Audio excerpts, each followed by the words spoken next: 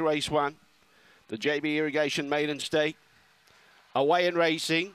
Now, let's have a look what's happening for the early lead. Trying to get across is Summer Rain. There goes Fire Eyes on the outside, but Bushman's mate was able to kick up and hold out Summer Rain. So Bushman's mate's got the lead. Fire Eyes on the outside, trying to make ground. Behind those was Summer Rain. Back in fourth placing, trying to stoke up was Miss Genius. A gap into the others. Summer Lads back behind those. It's at the tail end of the field. In front of it was My Dad's Dream. Morris Pier and also Bushman's Wish. In front, Bushman's mate trying to hold on. Fire Eyes lunging. Fire Eyes gets up and beats Bushman. Bushman's mate. Third placing Miss Genius. Fourth was My Dad's Dream. Summer Rain got awfully tired, didn't find the lead and dropped back through the field. Behind it was Morris Pier and Bushman's Wish near the tail end of the field. And the time here is around about 30 and 90.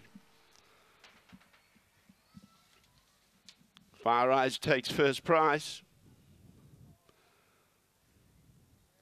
Gets up for the late male followers straight away. Big start. Big bang. Seven beats five. 30 and 93 was the time.